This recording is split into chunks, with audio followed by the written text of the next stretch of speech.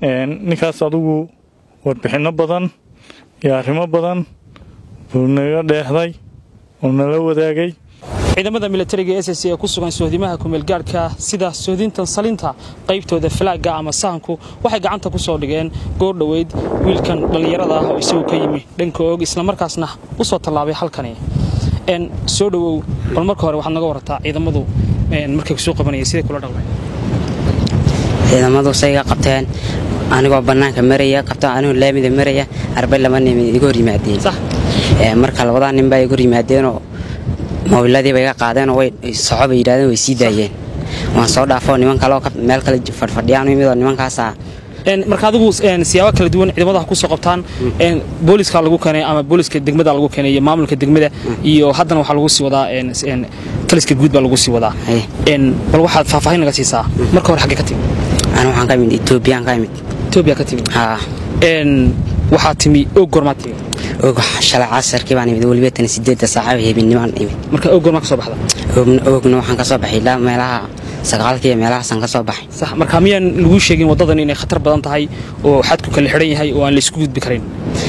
Niyo khatarta badan niyo lamaana soconin inaysa dagaali jiraan se waan yar maqlay. Sax markii hadeerto saan ka dhugtay lagu weydiiyey haybta halkaad ka soo jeedid wiil yaroo dhallinyara oo soomaaliya ayaa tahay. Laakiinse way isdhaafeen.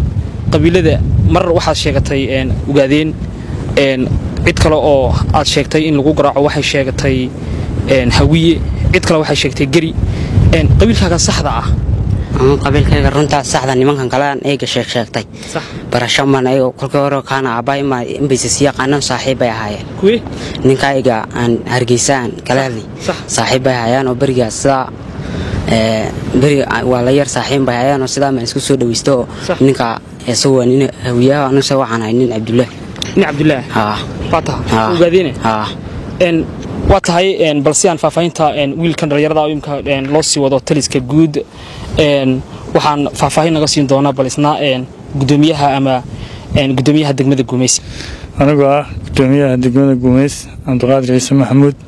Ninkan dhallinyarada ah oo ciidamada militariga s c ee jiidda hore deegaanka guumeyseed ay ku soo qabteen oo ay noo keeneen. Baan halkan ku haynaa.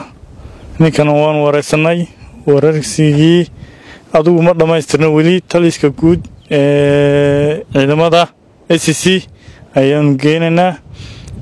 Ninkaas adugu warbixinno badan iyo arrimo badan buu naga dheehday oo nala wadaagay wixii warbixinana haddii lahaydmo waad ogaa doontaan isagoo ninka dhallinyarada galbeed buu ka yimi.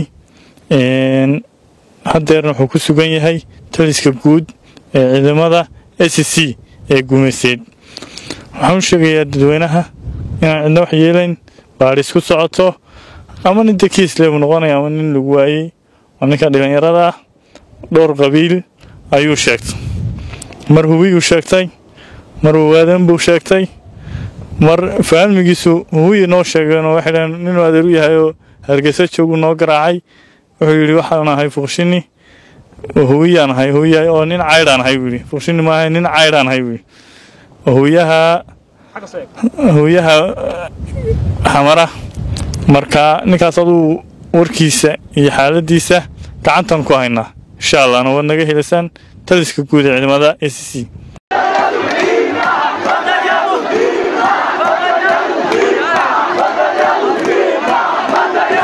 Badan adeer rag baa u soo dhintay ilamaa iyo maanta aan joogno etoobiya way ku taamaysay inay baddayada hesho oo haddaan areeya awdal bulshada awdal dege iyo sallel iyo gabiley haba yaraatee ma oggolaan doonno wax etoobiyana oo badahayaga iyo berrigaygaba soo joogsan doona ninkii meeshiisiiba dayacan tahay ay kuwoogii meelaha ka qarafaysanayaan annaga maya aqoonsi maxay etoobiya ku siini islaanta duqdaa dhaanta maxay hayaan?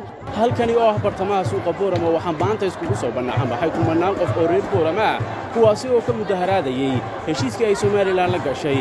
Dalka etoobiya kaasi oo lagu kala saxeixday is-afgarad u dhexeeya labada dal sidii baddaasi looga kirayn lahaa dalka etoobiya annagoo ah haweenkii gobolka awdal waxaan leenahay dhallinyarada dhammaantood inaan laga dhaadhicinin fikirka ah inuu muuse intuu duulo uu ka dego etoobiya uu idhaahdo baddiinnii baan saxeexay. Baddan adeer rag baa u soo dhintay. Min axmed guray ilamaa iyo maanta aan joogno etoobiya way ku taamaysay inay baddayada hesho. Laakiin ma heli mayso. Laakiin heli mayso. Muuse jago u leeyahay maaha. daxalu waxa weeyaan annagu haddaan reer awdal bulshada awdal dege iyo sallel iyo gabiley haba yaraatee ma oggolaan doonno wax etoobiyana oo badahayaga iyo berrigaygaba soo joogsan doona. Waayo waxaa dhacay dhibaatooyin fara badan. Halkan waxaa lagu lehay kun sagaal boqol afar iyo siddeetankii. Arday aan waxba galabsan oo iskuulladooda ku jirta ayaa lagu laayey kun sagaal boqol koob iyo sagaashankii.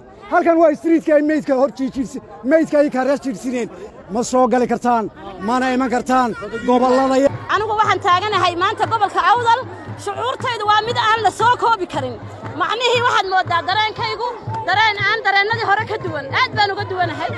Sababtaan uga duwanahay waxa weeyaan maadaamaan ahay hooyo muwaadilada u dhalatay gobolka awdal horta madaxda dhaliisheedu waa waxaan meesha ku jirin laakiin muuse iyo madaxda maanta taagani xadkeedii waxaad mooddaa inay hore uga soo fadhiisatay ma dhicin horena uma dhicin dee waa yaabanahay macnaha dawlad la yidhi maanta ka hor waxay iibisay dalkeedii amba xuduudihii meelihii adduunyadaba ugu qaalisanaaye badaha ah waa ragga kayrkaa maanta waxay soo ritaan dee badahooday u dagaalamaana keniya kala soo degeen annaga maanta ayaan darrada nugu dhacday. Waxa weeyaan horuu u sheegay madaxweynaha maanta dalka hayaa in la odhan doono fartaydii eedayay. Wallaahi maanta dareenkayga lama koobi karo. Maanta maadaamoon ahay hooyo u dhalatay gobolka awdal. Dhalinyarta ree awdal gobolka awdal. Etoobiya ma ogelin dalka anagaa difaacayna. Ma ogel etoobiya annagu haddaan nahay dhallinyaradii gobolka awdal haddaan nahay ummaddii gobolka awdal waxaannu leenahay baddayadu marnaba iib ma gasho etoobiyaanku marnaba nama soo geli karaa maa leehay. Ka salaamay gobolka awdal dhammaantood dumarkooga waxaan leeyahay xuduudaha la sheegayo iyo xuduud ay leeyihiin nin walba wuxuu doonayaa meeshiisa inuu ka tego annagu meeshan kama guurayno. Haddiina la tuuliyana ma ka tegayno. Dhallinyartayada raggayaga dhammaantoodba waxaannu ku bogaadinaynaa halkani inayna ahayn dul etoobiyaanan ahayn. Haddii tusaale waxa noogu mudan awbarree lafa ciise ayaa noogu mudan. Ilaa iminka dadku ay marayaan. Haddii awbarrihi dhuga hagaajin lahaa iyo lafa ciise u hagaajin lahaa odhan lahayn. Se ninkii meeshiisiiba dayacan tahay oy kuwoogii ka qarafaysanayaan annaga maya dil baan ka xignaa. Waxaana ka naqan kilishanna ma noqon ranno waxaan nahay gobolka awdal baanu nahay waanaanu difaacanaynaa dhalkayaga ree booramow waxaa la iibinayaa waa dhulkiinnii hantidiinnii maalkiinnii carruurteenna mustaqbalka ee soo socota ee iminka dhalan doonta. Waxaad arki doontaan iyagoo ina yaroo xamashi dhekada kaga taagan yahay. Ha isku dhalina xaataa intuu xamashimanayo ha isku dhalina intuu aqoonsi maxay etoobiya ku siini islaanta duqdaa dhaanta. Maxay hayaan? Malaxwaxwadibu aqoonsi ku siin. Muxuu ku siinayaa? Annagaa dhaanna? Annagaa doolar haysana? Biyaha yagaa doolara kalluunka yagaa doolara marna ma aqbalayna intuu qof naga nool yahay ibaddaa laga kireeyo ciddii damaca ee doonaysa ee qaadanaysa ee xoogga ku qaadanaysa in laga kireeyo marnaba ma aqbalayno anigu waxaan qabaa markaa cidda u fududaysay ee doonaysa inay etoobiya ku wareejiso ayaa dembiilo qarana khaayin waddana ah. Heshiiskaa badda lagu bixiyey waa waxba kama jiraan. Etoobiya maanta ma ay dhalin intay jirtaba waxay ku taamaysay dhul soomaaliyeed inay qaadaan. Waa meeshii ay ka soo gashay saylac iyo lughaya diinta islaamku afrika. Xaq bay u leeyihiin inay hantidooda iyo baddooda iyo dhulkooga difaacdaan. Xildhibaan maxamed xuseen meydhan oo ka mid a xildhibaanada golaha wakiilada ee somalilan degmo doorashadiisuna ay tahay gobolka awdal ayaa si adag waxa uga soo horjeestay heshiiska dhinaca badda ee ay wada galeen somalilan iyo ethoobiya xildhibaan maxamed xuseen meydhana waxa uu sheegay in heshiiskaasi waxba kama jiraan uu yahay.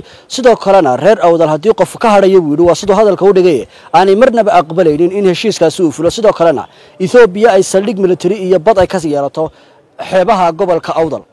Xildhibaanada golaha wakiilada somalilan degmo doorashadiisuna ay tahay awdal saaka magaaladii boorama ee mudaharaada ka socda lagaga soo horjeeday heshiiskii badda ay wada galeen somalilan iyo ethoobiya adigoo xildhibaan baarlamaan oo deegaanka matalaatay bal horta heshiiskan badda saad u aragta xildhibaane صلى اللهم على سيدنا محمد وعلى آله وصحبه وسلم. أول إله بما هذل ما هذه إله وحن أمهد علينا يا بهذا الصحابة الصومالي لأن رنحانتي الشيء سكابد اللي جو بحيوه وحبك مجران عد الله عد بدا الصومالي لأن فصيح كرتها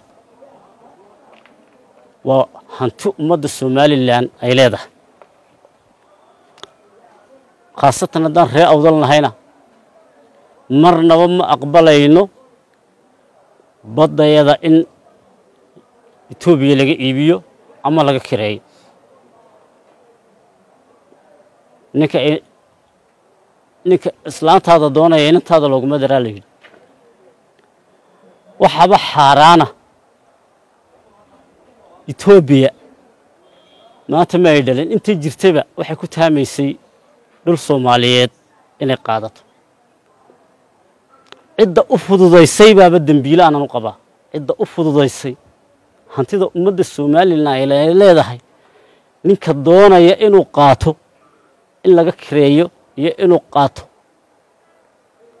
Kiro meesha wax la dhahdaa ma jirto. Been iyaana ummadda loo sheegin ictiraaf baan ku bedelanay waxaad arkayseen la taliyihii madax la taliyihii ra'iisul wasaaraha etoobiya inuu inii caddeeyey ummadda somalilan waxaan u sheegaynaa inuu u caddeeyey inay markay dhulka hantiyaan ay degaan ay la wareegaan ay ictiraafka u baarbaari doonaan somalilan war maskaxdiinna ayaan lagu ciyaari ma lehna ummadda somalilan maskaxdiinna